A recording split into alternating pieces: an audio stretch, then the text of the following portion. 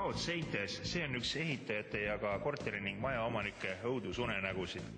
saad just remondi või ehitustöö tehtud, kui tihtipeale on nad jälle tagasi.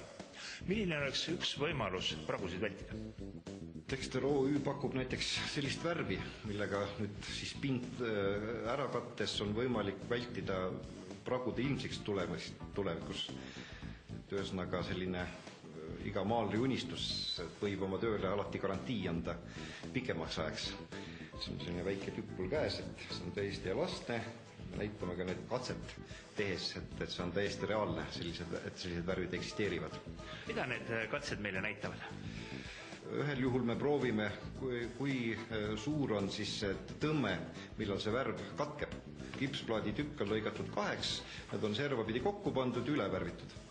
Kui suurt raskust selline väike kümne sentimeetri laiune plaaditükk ja ütleme õigemini värvühendus nüüd vastu võtab?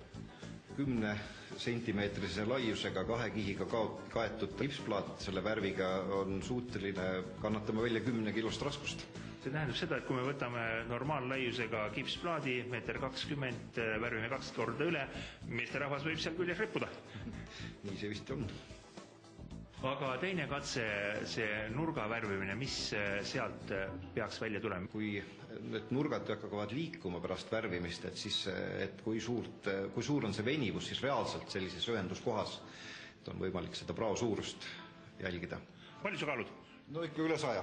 no üle saja nurk on ülevalt lahti lõigatud, ripud ennast siia külge nüüd. mis juhtub?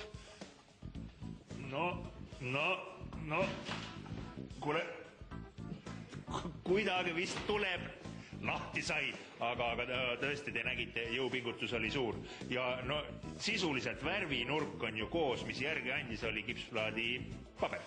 mis, mis on meil veel huvitavat on? näiteks võib tuua termoisoleerivad värvid soojust nagu soojusläbikannet vähendavad, vähendavate omadustega. samuti võiks äh, veel ära märkida, et on sellised värvid, mis on spetsiifilised, nagu näiteks äh, basseinides kasutatavad plaatide asem, asemel ja väga niisketel pindadel kasutatavad värvid äh, võib otse praktiliselt vee peale värvida. kuskohast võib leida lisainformatsiooni selle värvi ja üldse nende Isonemi põnevate toodete kohta? selleks leheküljeks on hetkel tekster.ee. maikuus on plaanis avada Seebi tänaval väike esinduskauplus, kus saab kõiki neid asju koha peal ka osta ja lähemalt tutvuda nendega. et tast võite läbi astuda.